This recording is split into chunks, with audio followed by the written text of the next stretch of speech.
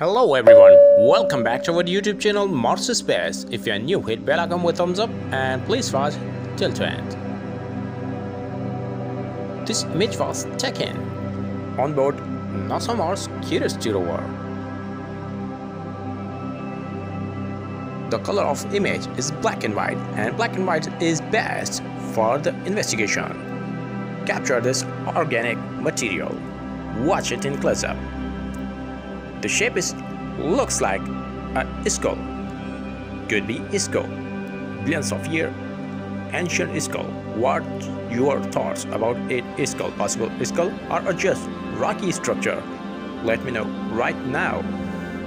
Here are new images of Mars from NASA's Mars Perseverance rover. Mars Perseverance rover acquired these images at the surface of red planet using navigation camera. Photos captured on Sol Armachine 551 of its mission at September 2022. Like the video, share the video to your best friends. Thanks for watching.